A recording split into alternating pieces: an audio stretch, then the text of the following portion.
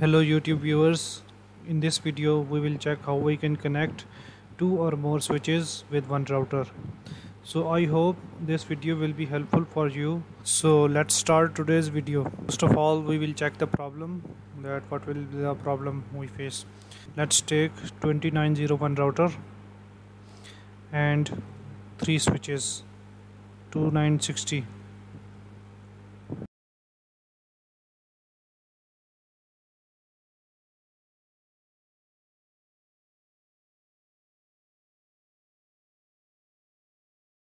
let's connect them with using copper straight through.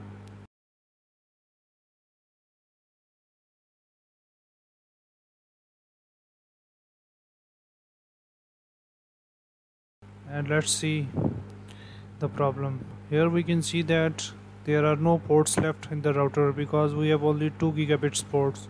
So in order to solve this problem we will see how we can connect three or more switches with one router. So let's see that. Go to network devices select router PT empty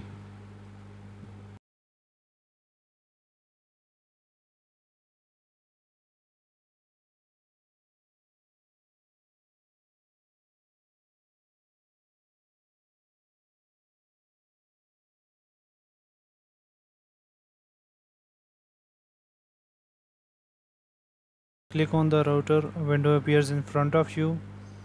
First of all check that router is turned off. Then you will be able to place ports on the router panel.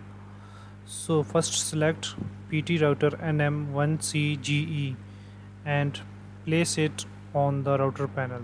Here I am placing 5 ports but you can place up to 10 ports on this router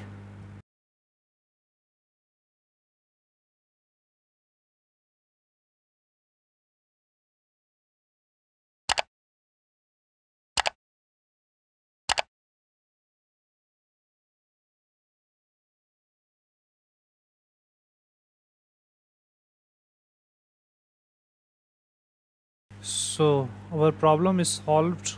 Here we see that our one router is connected with five switches. If you like the video share it with others and subscribe the channel to get more videos. Thanks for watching the video